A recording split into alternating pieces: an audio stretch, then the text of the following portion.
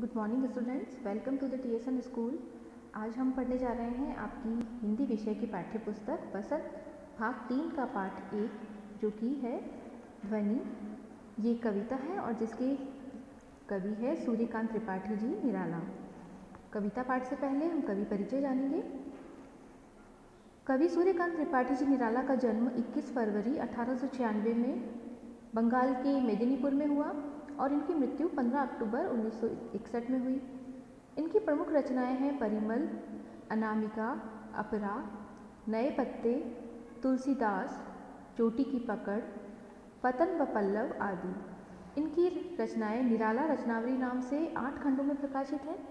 इनकी रचनाओं में दार्शनिकता, विद्रोह, क्रांति, प्रेम की तरलता, प्रकृति का विराट चित्र आदि देखने को मिलते हैं। कवि छायावादी युग के प्रमुख कवि हैं, इसीलिए इनकी कविताओं में प्रकृति के अवयवों जैसे कि पेड़, बसंत, पुष्प, रात्रि, सवेरा, इस तरह के शब्दों का प्रयोग मिलता है। जिनका छिपा हुआ अर्थ होता है, कुछ इनका रहस्यपूर्ण अर्थ होता है, कुछ अलग अर्थ होता है इनका।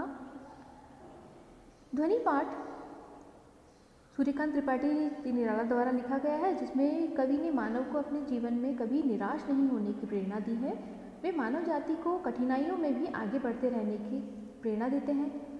वे इस कविता द्वारा मानव में जोश का संचार करने का प्रयास कर रहे हैं और यहाँ कवि बसंत के माध्यम से युवा पीढ़ी को जागृत करने की लालसा रखते हैं। तो शुरू करते हैं कविता पाठ। अभी न होगा मेरा अंत, अभी अभी ही तो आया है मेरे वन में मृदुल बसंत। अभी न होगा मेरा अंत, हरे हरे ये पात, डालियाँ कलियाँ कोमल गात, मैं ही अपना स्वप्न मृदुल कर फेरूँगा निद्रित कलियों पर। जगह एक प्रत्युष मनोहर, पुष्प पुष्प से तंद्रालस लालसा खींच लूँगा मैं। अपने नव जीवन का अमृत सहर्ष सींच दूँगा मैं।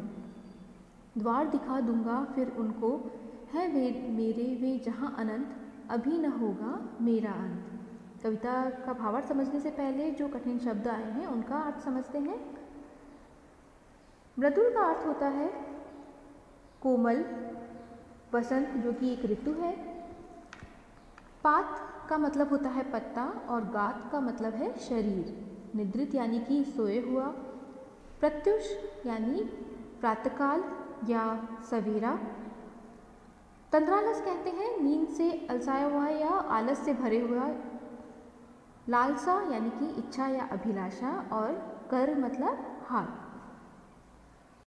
अभी न होगा मेरा अंत, अभी अभी ही तो आया है मेरे वन में मृदुल बसंत, अभी न होगा मेरा अंत। तो कवि, कविता के माध्यम से कहते हैं कि मेरे जीवन में अभी अभी बसंत आया है और बसंत ऋतु के आने से क्या होता है? चारों तरफ़ रंग बिरंगे फूल खिलते हैं, पेड़ों पर नए पत्ते आते हैं। क्योंकि बसंत ऋतु से पहले शीत ऋतु, पतझड़ और का मौसम पतझड़ ऋतु होती है। तो उस समय जो भी पुराने पत्ते होते हैं, वो झड़ जाते हैं और बसंत के आने पर पेड़ों पर नए पत्ते उगने लगते हैं। इसी तरह कवि कहते हैं कि मेरा भी अंत नहीं होगा, क्योंकि यह तो समय मेरे जीवन में बसंत के आगमन का है और इसमें शुरुआत हुई है। ये तो एक तरह से इसका अंत अभी नहीं होगा। यहाँ पर कवि क्योंकि छायावादी युग के कवि हैं तो वह इस कविता में अपने जीवन को भी इसका जोड़कर बताते हैं। एक निश्चित अर्थ भी, दूसरा अर्थ भी है इस कविता में, जिसमें कवि कहते हैं अब उन लोगों के लिए कहते हैं जो उनका जो लेखन का कर्म है या जो रचना कार्य जिन्होंने शुरू किया था, कविता लेखन का, उसको पसंद नहीं करते थे, उनकी आलोचना करते थे। उन लोगों को भी इस कविता के माध्यम से संदेश देते हैं कि यह तो मेरे लेखन की शुरुआत है, वसंत है इसका अंत अभी नहीं होगा। मैंने तो अभी शुरुआत की है और मेरा लक्ष्य युवा पीढ़ी को जागृत करने का है। जो लोगों में, जो अपने जीवन से निराश हो चुके हैं, उन्हें फिर से आशा से भरने का, उन्हें जागृत करने का है। तो ये मेरा एक लक्ष्य है और इसको पहुँच, इस लक्ष्य तक पहुँचने से पहले मैं अपना लेखन कार्य बंद नहीं करूँगा। तो इस तरह से लेखक वसंत ऋतु के माध्यम से अपने जीवन के बारे में भी बता रहे हैं और साथ ही वसंत ऋतु के बारे में भी बता रहे हैं। तो लेखक कहते हैं कि अभी अभी मेरे जीवन में बसंत ऋतु का आगमन हुआ है तो अभी से मेरा अंत नहीं होगा, बल्कि ये तो एक शुरुआत है। हरे हरे ये पात, डालियाँ, कलियाँ, कोमल गात, मैं ही अपना स्वप्न मृदुल कर फेरूँगा निद्रित कलियों पर जगह एक प्रत्युष मनोहर। तो हरे हरे जो पत्ते हैं पात यानी कि पत्ते, डालियाँ, कलियाँ, जो कि पेड़ के कोमल शरीर है गात है, यानी पेड़ का कोमल शरीर है, जो मिलकर बना है पत्तों, डालियों और कलियों से। उन पर मैं अपना जो स्वप्न मृदुल कर, यानी कि जो मेरा स्वप्न है, मेरा लक्ष्य है, उसके द्वारा वो, उसके द्वारा मैं लोगों को जागृत करूँगा। तो ये मेरा लक्ष्य है और ये लक्ष्य कैसा है? एक तरह से कोमल कर है, कोमल हाथ है मेरा, जिसके माध्यम से मैं जो सोई हुई कलियाँ हैं, जो निराश युवा पीढ़ी है, उन्हें जगाऊँगा। इस तरह की मैं कविता रचना करूँगा, ताकि लोगों में जोश का संचार हो और वो फिर से अपने जीवन में नई आशा और जोश संचार संचार हो उनके जीवन में और फिर से अपने लक्ष्य की तरफ़ बढ़े वो। तो मैं ही अपना स्वप्न मृदुल कर फेरूँगा निद्रित कलियों पर। यहाँ पर निद्रित कलियाँ, उन्होंने कहा है, युवा पीढ़ी को, जो कि उस समय जब अंग्रेज़ों का गुलाम था हमारा देश, उस समय पूरी तरह से निराश हो चुकी थी।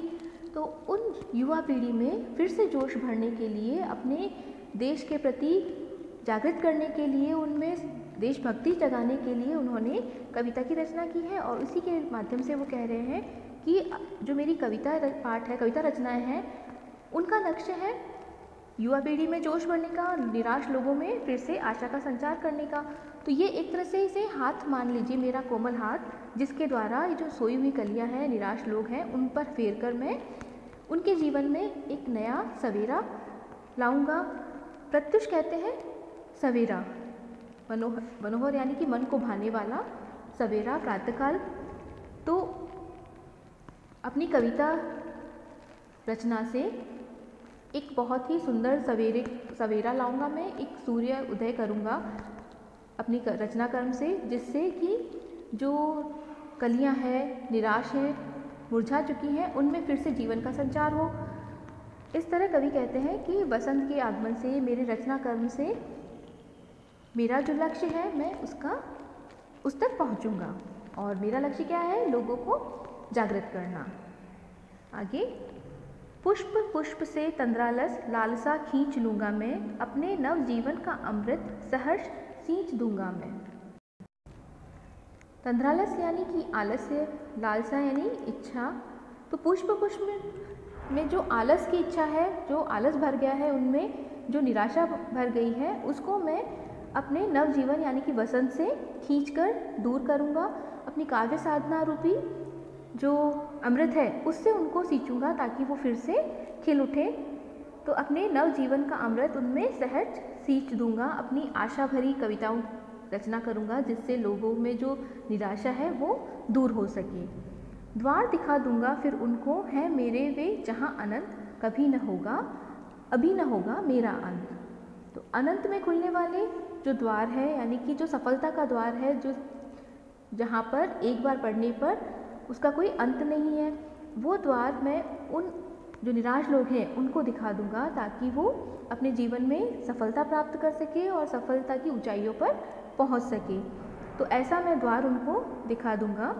तो इसलिए अभी मेरा अंत नहीं होगा।